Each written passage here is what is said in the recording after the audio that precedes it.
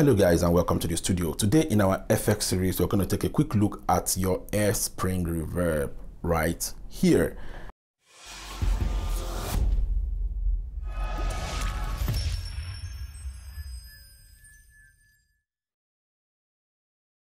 So the air spring reverb, you know, it offers a unique flavor compared to the air reverb and the non-linear reverb. And this is simply because it emulates the classic sound of the spring reverb unit that is popular in the vintage guitar amps and the keyboards. That's why it's actually the spring reverb. That's why from here you can see there is no other thing to just set parameters. All you need to set is diffusion, the pre-delay, and you know, width and your low cut, your time. And I'm sure you're already used to all of this by now. If not, there's still a link here. You can catch up on the previous effects that we've covered and that will help you to actually get a grasp of all these. Then we're talking about the reverb, which is your diffusion and then the width. Those are the only things you can set. So there are other presets that is here that you can always use. And don't forget, you can always save your presets. Once you've done anything here, you like it, you want to keep it for future use, you can actually save any parameter that you have modified. Just hit the save button, you can do that. And from your from here, you can select any of the already presets and test it out.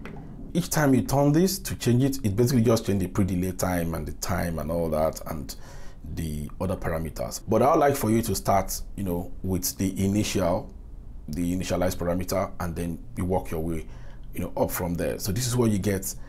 Okay, let's dive in right away. Then I'll show you what you get when you use the spring reverb. Just like the name implies, this is actually trying to emulate a particular reverb that is popular in the vintage guitar amps and the keyboards. So let's go.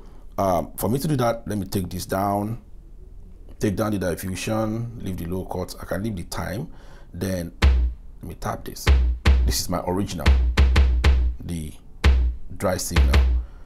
Let me mix it up to 100 and bring only the wet signal. Did you hear that?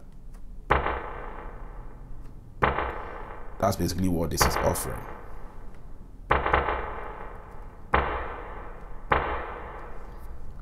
You can see diffusion has done its thing again, smoothing out the reverb.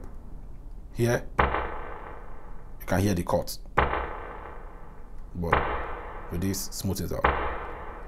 And the width, now it's more pronounced here, you know, like this is one of those few effects where you actually get to feel the effect of the width. Can you hear that?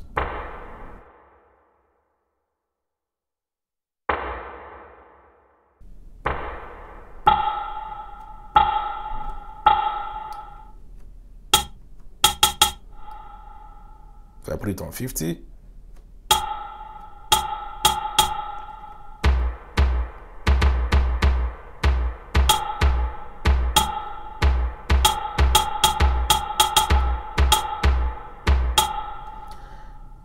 That's basically what you get with your spring reverb.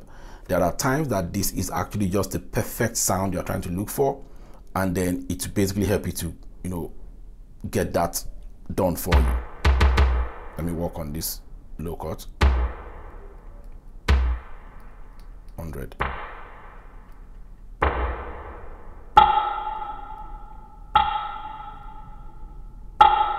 Sounds a bit closer. Sounds farther off. Because a lot of the low has been cut off.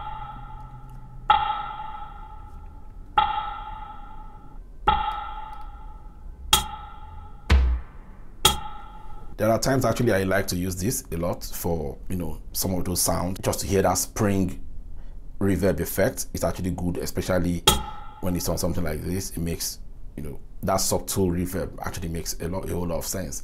You have to control the amount also so it doesn't overshadow the other instrument that you're working with.